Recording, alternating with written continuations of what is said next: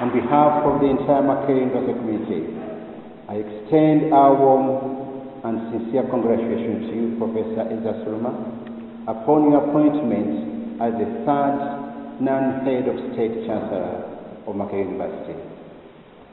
As Makerere University, we are excited to welcome yet another distinguished personality to this great institution.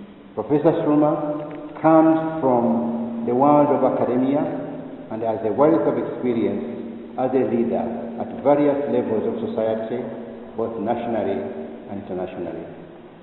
He therefore, brings with him unique insights and perspectives from which Makerere University is eager to learn as we continue on our journey in search of excellency towards achieving our vision to be the leading institution for academic excellency and innovations in Africa. I do not think, Mr. Chairman of the Council, that Makerere University would have found a better person to recommend His Excellency the President than Professor Ezra Suruma.